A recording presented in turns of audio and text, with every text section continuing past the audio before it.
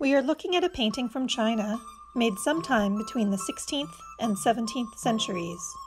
The painting depicts various activities of women who live and work in a palace in China. This very long painting on silk is called a hand scroll.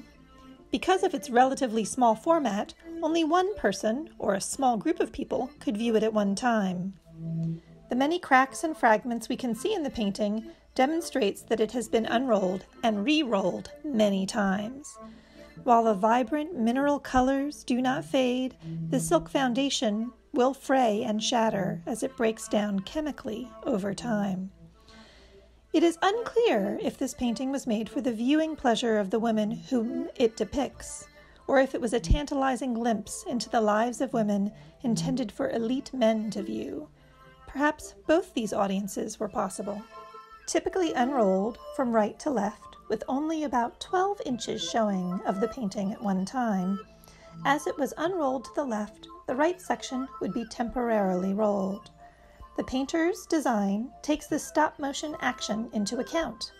The design provides visual resting places as well as teasers to urge your eye forward. Let's take a look at the action taking place in this hand scroll. We will explore it by beginning on the right and moving to the left the same way it was meant to be unrolled and viewed in China. Takeout arrives. Here we see women carrying in food and dishes for picnicking. The heavy, stacked, luxurious red and gold lacquered food storage boxes require two people to shoulder. Imagine the delicious food inside. Here is an example of a lacquered food box in the BMA's collection. The food and dishes are coming from the kitchen, which, for fire safety reasons, is removed from the living and pleasure quarters. The women wear pink, blue, green, and gray robes and are painted in animated postures, suggesting their movement. The pine trees above that shade the ladies, along with the rocks around them, represent longevity and endurance. The blue green color of the rocks is a reference to the blue green mountains of the Taoist immortals. And that color emphasizes the heavenly setting we, the viewers, are invited to visit with our eyes, minds, and hearts. Longevity Dance These two red crested, black necked cranes are dancing between pine and banana trees among rocks. A pair of cranes signals good wishes for a bride and groom at their wedding. The crane couple also represents marital harmony between wives and husbands and are sometimes used to celebrate birthdays of a married couple. When grouped together, cranes, pine trees, and rocks are all symbols of and wishes for long life. As a rebus puzzle, the combination of crane and pine is linked to three similar sayings. The first saying goes, like the crane and pine, may you enjoy similar longevity. The second saying says, May you possess the longevity of the crane and the age of the pine. And finally, the third saying says, May you live to an advanced age, similar to the pine and crane. Picking red peonies from the rocks. A woman raises her arms high above her head to pick red peonies from its rocky perch. The peony is considered as the king of flowers in Chinese art. Picking peonies is likened to gathering perpetual wealth. A bamboo grove is nestled into the background behind the peonies. Bamboo signals flexibility, endurance, and resilience. The combination of peonies among bamboo is a rebus puzzle that means, may you have peace and prosperity. Ladies hand washing and primping. Here we see a table in the foreground and a woman offering a drying towel to her bowing neighbor who has just finished washing her hands. The metal washing basin peeks out behind the pear shaped pitcher. Pink peonies are placed in a blue vase next to a brown teapot with a white teacup. A dark dish with a gold finial on the triangular covering is perched at the edge of the table. A woman stands behind the hand washer with a red lacquer tray holding numerous white dishes. Like the first ladies we met at the beginning of this scroll who were bringing food, These three women are all servants, which is indicated by their narrow sleeves, restrained clothing, and less elaborate hairstyles. To the left of the servant women stand two higher ranking women. Their higher rank is demonstrated in their full, long sleeves, indicating they do not work with those hands. Their high hairstyles also require greater effort and the assistance of a hairstylist. One woman adjusts the jewelry of her hairpins, raising both her hands to primp before greeting the other palace women. Notice that both these high ranking women wear more colorful clothing composed of more luxurious textiles than the servant women. Music in the Phoenix and Parasol Tree Pavilion. Placed between the two trunks of the tall parasol trees, the artist has rendered the pierced rock formation in the shape of a preening phoenix. The phoenix is said to roost in parasol trees, a symbol of the empress, True phoenixes are said to only appear in times of peace and prosperity. The phoenix is attracted by music made by humans. Hence, this phoenix rock is placed close to the music pavilion. Inside the pavilion, a high ranking woman plays the Di Zi flute, accompanied by a slightly lower status woman strumming a Zhongruan lute. Both musicians face the viewer but another woman is seated with her back to the viewer as she appreciates the musician's performance.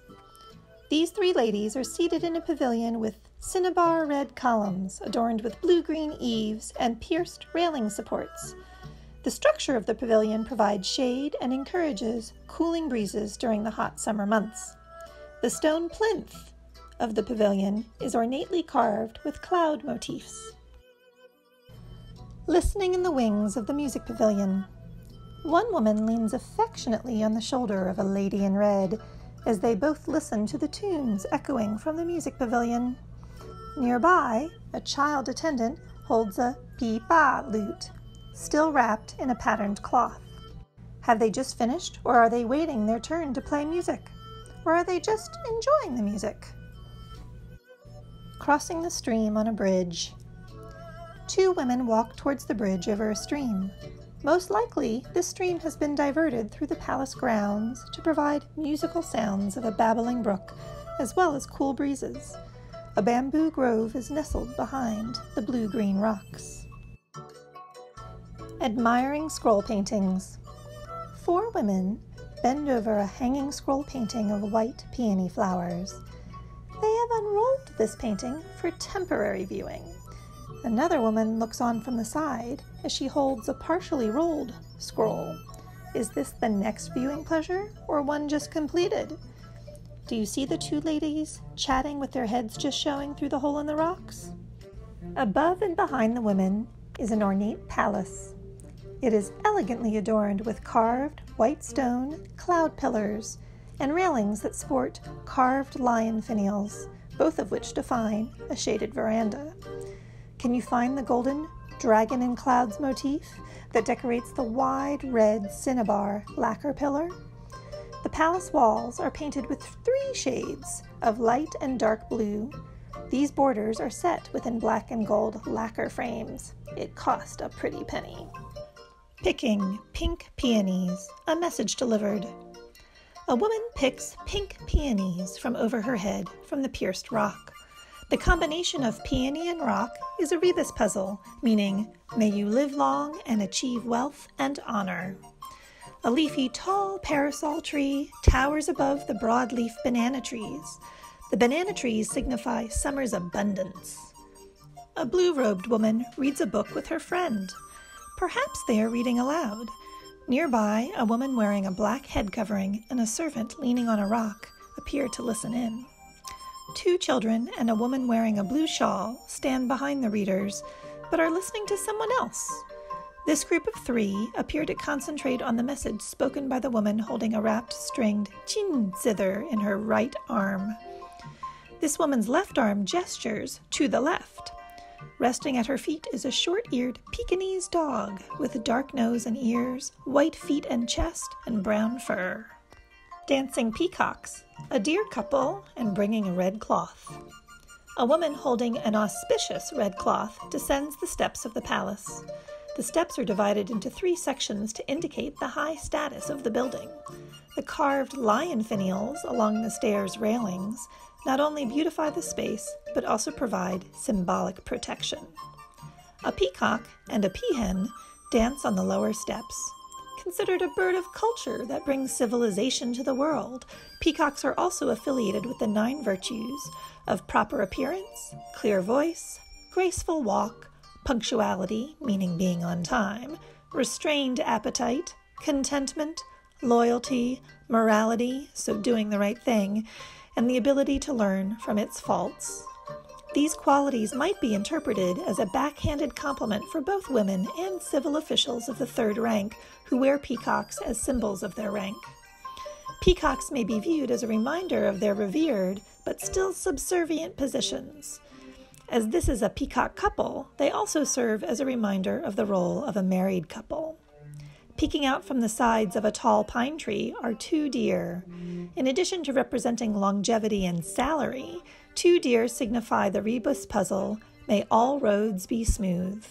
The deer appear to be carefully watching the game players. A kitty cat perched on a rock. Game playing. Is music wanted?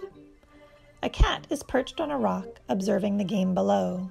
The Chinese name for cat, Mao, is also the same spoken word, meaning living to be in your 80s. The black and white fur of the cat is a reference to potential graying hair of the aged. Thus, when viewed together, the cat, rock, pine tree, and deer all emphasize long life two women play a game of strategy called Wei Zi in Chinese, but best known in the West by the Japanese name Go. The game table has a marble inlaid top that has incised lines for play, supported by a red lacquered wooden frame and legs. These are luxuries. The black and white game pieces are beginning to be placed on the board, but others remain in the brown containers held by or placed near the two seated women players. The seated woman in a green robe and the standing woman bowed over the table are observers. Another seated woman turns to an attendant who holds an unwrapped zhongruan lute. Perhaps they are discussing whether music would enhance or detract from the game. Admiring the blooming lotus pond where mandarin duck couples feed. Demonstrating the summer's heat, a woman with a pink robe holds a blue leaf shaped fan. Just below, among the rocks, are white orchid cymbidium flowers. Cymbidium orchids can be understood to symbolically mean, may you have many grandsons. Two high ranking women embrace by the red railing as they look out at the lotus pond. The white lotus flowers and green lotus leaves are at different stages of budding and unfolding along the top of the painting. Near the lotus leaves are the colorful feathers of a mandarin duck couple. Their heads are submerged below the water as they feed. In Chinese art, mandarin duck couples signify a happy marriage. Swallows fly and the willow trees sway at the lotus pond. Here we have a detailed view of the lotus pond. Flying among the lotuses and willow branches are two split tailed swallows. Swallow birds in Chinese art indicate celebratory banquets. Visible in the lower right between the willow branches, mandarin ducks swim. Water loving willow trees are revered in China where their leaves and bark may be taken medicinally.